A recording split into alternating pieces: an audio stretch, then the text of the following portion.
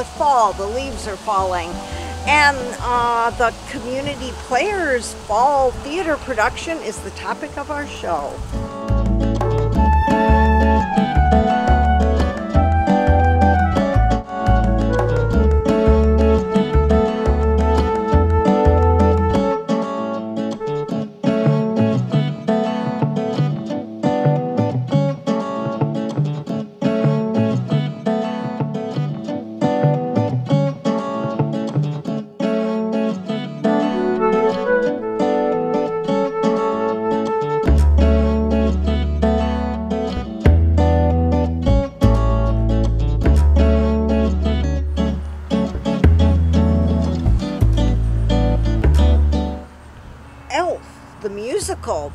Subject of our show. And it says a razzle dazzle Broadway style production that will be sure to please audiences and fill them with Christmas cheer. And we'll get a sneak peek for you right now. And that had like a very large McDonald's in there too. So like,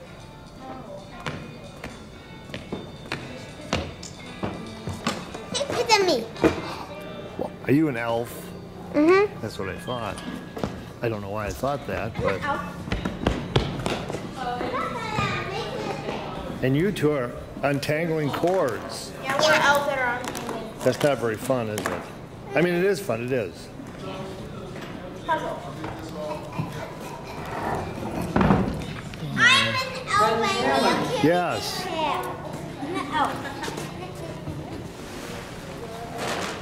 More than that?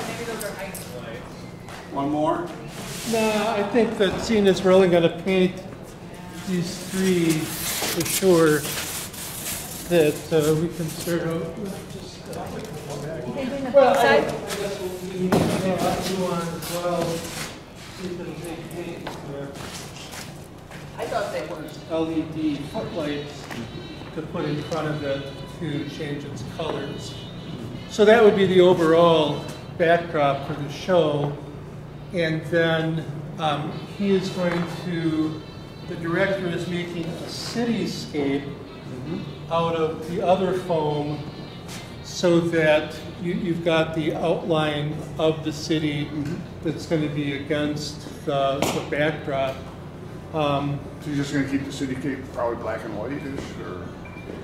Well, Right, Since it's basically actually- New York City, is gonna be mostly nighttime scenes or daytime Right, scenes? we're gonna, we're gonna paint it blue and then have the scenic design artist woman put highlights and lowlights on it to make it look a little bit more um, three-dimensional. Are you gonna be Santa Claus? I am one of the Santa Oh, Clauses. one more. One of the Santa Clauses, yeah. This is Saturday, November 4th. We're on the Coppertop Theater stage, and Andrew Sharp, the producer of Elf the Musical. Tell us more, please. Elf the musical is based on the movie Elf um, that I think people are familiar with from 2003. It's uh, a story of uh, a baby that gets put in Santa's uh, sack and transported to the North Pole. And he grows up believing he's an elf when in fact he's not an elf. Um, so then he grows up and he becomes the actor whose name is I'm blanking on. Oh, right Will now. Ferrell? Will Ferrell. He Okay. grows up into Will Ferrell, and uh, he finds out from a, a conversation between some elves that he's human. He's not an elf, which is why he's so terrible at making toys. So he talks to Santa, and Santa tells, tells him who his real father is down in New York. And so he goes to New York to find his real father and finds that no one has the Christmas spirit, no one believes in Santa Claus, and belief in Santa Claus is what makes Santa's uh, sleigh fly. So he meets a young woman named Jovie, and he's at a department store, and he's fighting with the fake Santas because he thinks that they're imposters and that they're tricking the kids, and um, he's just a very um, naive but genuine and happy um, sort of fellow. And uh, he meets his father, and things happen from there. He finds out he's got a, a half brother, and uh, he tries to convince the New Yorkers to get into the Christmas spirit, and that's pretty much what the show is. So our show is the same as that, only we have music added to it and, and some different scenes. Uh, a lot of the same stuff, uh, and some different stuff, but it's based on the same story as the movie. Well, it sounds, is, is his character kind of childlike throughout, or yes, does he grow yes. No, no, no. He's he's childlike throughout. Okay. So, um, yeah, very spontaneous and silly, and he has powers uh, that normal people do not have, which are demonstrated in our show as well. So, And so turning a regular, straight play, I guess, to a musical, of course there are, it's a longer production, there are more sets possibly. um, well, there's there's things that don't happen on stage that do happen in the movie. So I think it's going to be about the same length as the movie, actually. Okay. So, yeah. And the songs are part of the narrative? They progress the story, some To some degree, yeah. Okay. Yes. Yeah. Generally, they do. And this is pretty, well, it doesn't open for what, four weeks approximately? so Right, a month from now, In yeah. theater talk, that's quite a ways. That's quite a long time. You can do a lot in, in a month. Yeah, and right here, you're just starting to paint flats. We do have, um, a lot of the other flats were painted and they were given to Helen Mar Adams to paint Santa's workshop on them. She's doing that at her studio down in Blue River. People that saw The Lion, the Witch, and the Wardrobe will remember the, the beautiful flats that she had painted for that show. We've got her to do it again for this show, yeah. She did a previous show too, didn't she? I think she also did stuff for, um, oh, well, she did Heidi, and she did Oh, The of Lion, the course, Witch, yeah, and the Wardrobe. Yeah. So people that saw Heidi also saw her hand. So they're going to be almost photo real, I mean, they're going to be beautiful. They're, they're going to be beautiful, for sure. Oh, good. Yep, Yep. So today we, um, Nate McDougal just arrived, he'll be doing lights. Right. And he's back talking, oh, there he is. He was there Hey, there he talking is. with Kevin.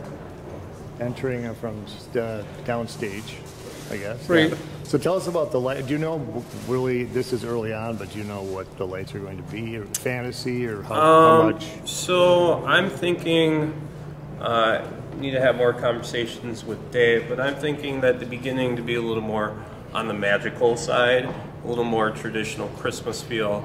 But then when we get to the city, I want it to be more practical lighting, what lighting would look from from the store or from what you would see in the streets. And then the end, when Buddy starts to bring magic into people's lives, we'll kind of bring some of those more uh, magical effects back to back to the show. What does practical lighting mean? So what I mean, um, so I kind of screwed up the term there, but what I mean by is like lighting that you would see from like LEDs from stores or Oh, you see the source of it. source. Yeah, Okay. Yeah.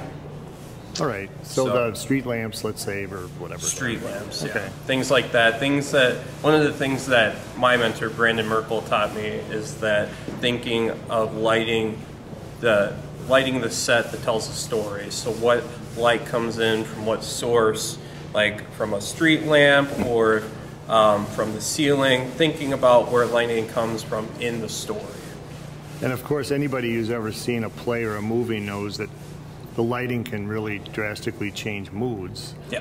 and define characters, and define plots, and everything like that. Exactly.